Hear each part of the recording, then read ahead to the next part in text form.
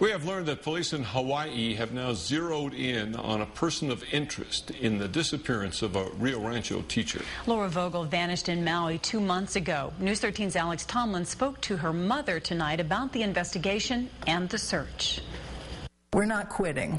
We're not giving up. Joan Vogel talked to her daughter Laura just hours before she vanished on February 21st. Her connection was very bad, so it was one of those phone calls where, Laura, Laura, and Mom, Mom, can you hear me? The avid outdoorswoman had decided to camp out in Maui. She didn't know the spot turned into a homeless hangout at night. She missed an appointment the next morning, worrying her friends. They went looking and found her van unlocked with the key in the ignition. Her wallet and cell phone were gone. Searchers then found the broken back cover of her phone down on the beach. We've never stopped searching. Off duty firemen who have volunteered to help.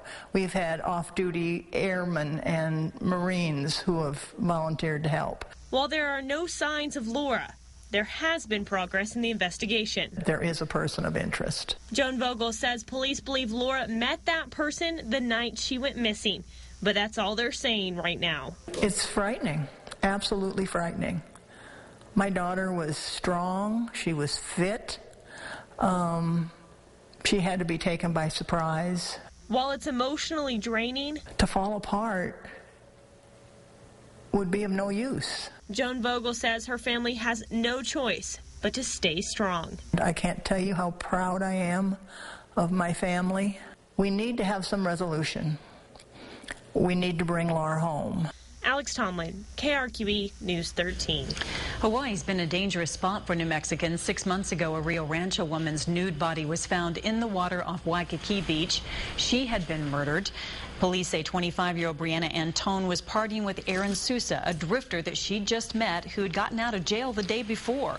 The autopsy showed Antone's larynx was crushed and she had drowned and that she may have been raped. Sousa is charged with her murder. Antone, an Albuquerque native, was traveling with her brother and mother at the time.